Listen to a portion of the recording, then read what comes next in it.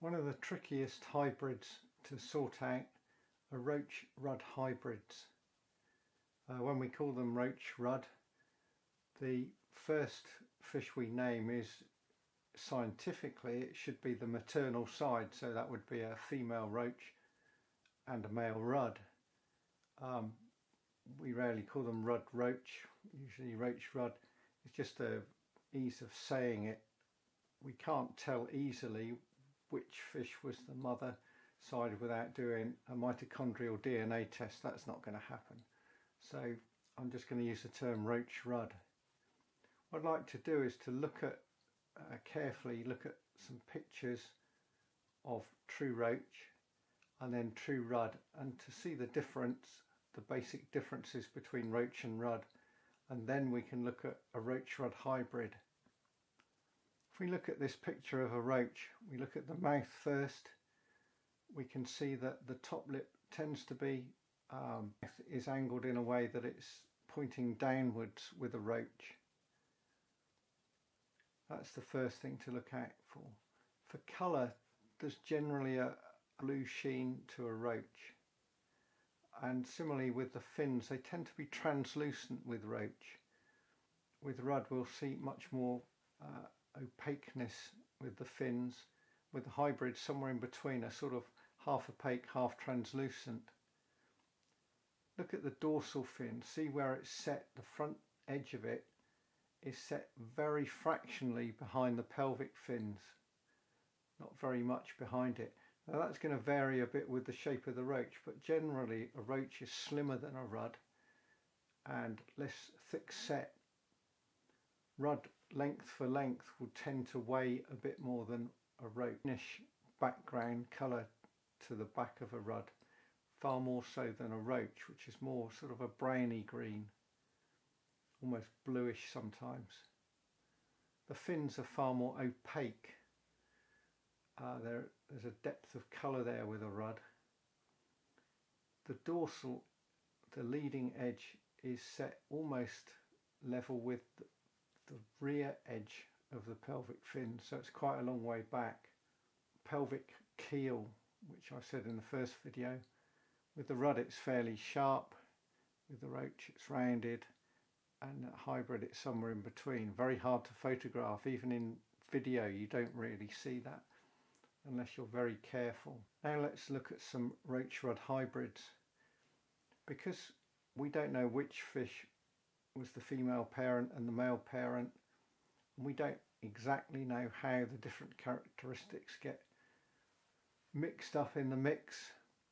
We tend to assume that a fish like a roach rudd hybrid is somewhere in between on the characteristics and that's fairly true but some seem to be skewed towards rudd some towards roach whether that depends on which parent is a female which is a male I don't know I've I've not yet seen that in print anywhere where it's been proven and you'd have to do a mitochondrial DNA test on each one that you checked out. You'd have to do it on many, many fish to, to one hidden thing we can't look at, of course, is the pharyngeal teeth and, and the pharyngeal teeth for roach and rudd are different, the number of teeth, and the hybrid again is midway.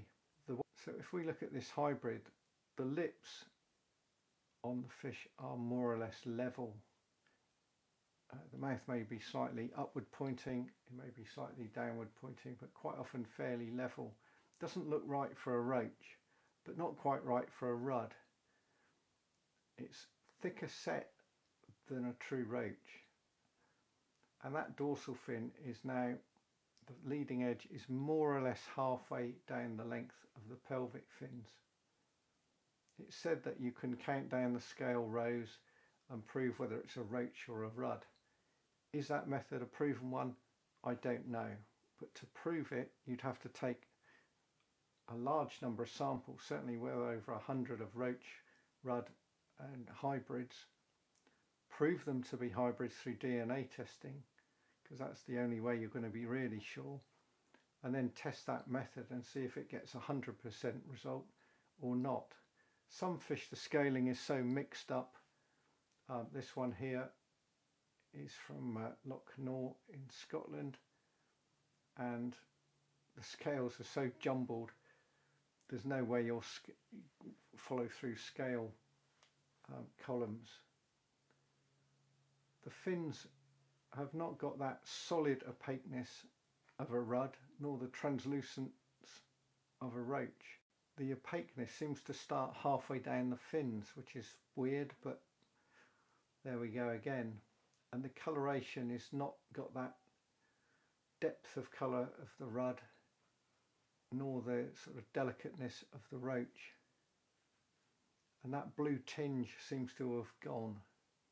It's just not there anymore. Roach rudd hybrids mostly an experienced eye and I think I'd count myself one can recognize them for what they are something in between but you need to catch a lot you need to be catching lots of roach and rudd from the same water to spot them. One water I'm fishing at the moment Creekmoor Ponds. There are three big fish in there that are all slightly different. One is just under two pounds about one pound fifteen and it's clearly a roach rudd hybrid no doubt about it in my mind at all. One's fractionally bigger two pounds. It sort of looks like a roach the mouth is very small, very a little bit strange. The dorsal set back a bit. It's more delicately coloured than the hybrid that's a little bit smaller. Is it a roach or is it just skewed towards a roach and really a hybrid? And there's a third fish that looks like a true rudd at one pound eleven. Caught all of these several times, and yet the coloration's good for a rudd the dorsal doesn't seem set back that far. Maybe it is a true rudd and I'd happily accept it for that. not going to win any prizes anywhere, nothing to worry about there. So if you do catch fish or not sure of, take lots of good photos from all angles, especially focusing on the mouth. See if you can photograph that abdominal keel and be prepared to accept that maybe you're not catching roach after all. The fact that they're so easy to catch, I don't know why this is, is often a small group of fish get caught over and over again, not even in the same swim. Uh, a couple of waters I've fished of anything between one and three acres, they turn up here, there and everywhere. It's almost like start firing some bait in and they come running and then you catch them. Sometimes the first fish you catch.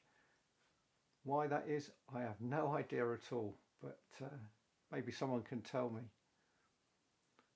Probably the most common roach hybrid is roach crossed with bream. These are much easier to tell apart from true roach or true bream. Uh, the anal fin has got far more rays than a true roach, but less than that of a bream. There's a sort of greyness about them. I can only describe it as that. Um, some people who fish the Test regularly tell me that occasionally they catch quite big roach bream hybrids, three pounds or more, and they get all excited when they hit this heavy thumping fish in a fast current. Have they hooked into the roach of a lifetime? And then they get it in and they look at it and it's got that funny browny grey look to it. The fins are sort of washed out. The mouth doesn't look quite right. The anal fin is definitely much too long and they know they've got a roach bream hybrid and roach bream hybrids grow to I've got a feeling the biggest ever recorded is over nine pounds in the UK and certainly three pounders are fairly common. That's the size I've caught them to. Never caught a bigger one than that. And sometimes some waters where there's lots of bream and lots of roach and circumstances dictate a spawning year where the two mix up together. Maybe the roach were delayed until the time of the bream spawning maybe there's not very good spawning grounds, you get roach bream hybrids by the score. Uh, Whitemoor, Main Lake, um, I've caught anything up to 20 or 30 at a go, mostly very small ones, very easy to recognise. There's loads in there, all different year classes. Occasionally I've caught a much bigger one in there, two, two and a half pounds. I get excited in there, I'm hitting roach, hoping for ones over a pound and suddenly hit this much bigger fish they often fight quite hard. Up comes a big dorsal fin and you think, well, maybe it's a roach. And then you get it in and you think, ah, it's a roach bream hybrid. The Problem with roach bream hybrids in certain waters like the Witham, the Trent, the Thames, the Bristol Avon, uh, they get mistaken for silver bream. So people say they're catching lots of hybrids when actually they're catching lots of silver bream. It's very rare in a river to catch a silver bream much over a pound. Uh, there are ones in the Thames over a pound, I've caught them. And I've seen one or two in the Bristol Avon over that size. But generally they're fairly small fish of a few ounces. And they're prolific. They've got massive eyes, silver bream. The scale count of a silver bream compared to a bronze bream is quite a bit lower. And the anal fin ray count is very similar to a roach bream hybrid. They're more silvery and there's a certain sort of shape and look to them that's different to a roach bream hybrid. A roach bream hybrid is almost a diamond shape and a silver bream's more rounded. It's, that's the only way I can describe it when you look at it side on. Worth noting the difference, understanding when you're catching them. You often see reports about lots of hybrids coming from waters like the lower Trent, sometimes the Thames or the Bristol Avon, and quite often they're really silver bream because people just can't tell the difference. A couple of times on matches on the Bristol Avon years ago, people bet me a hundred pounds that what I was catching and I had 30 or 40 were really hybrids, not silver bream as I said. A couple of times there were in those times there were people who were worked for the EA and they took a couple of small ones as samples and got them checked by the river labs. They came back as silver bream as I said. There are silver bream hybrids. I've had silver bream roach hybrids, not very many, and silver bream rudd hybrids, again pretty rare because there aren't that many rudd in the rivers where the silver bream are. Hope you've enjoyed this video. Please subscribe and uh, I'll carry on building up the channel. The next one will be about crucians, goldfish, gibel carp and what are commonly known as F1s which are hybrids with carp, but of course there are hybrids between goldfish and crucians just to add to the confusion.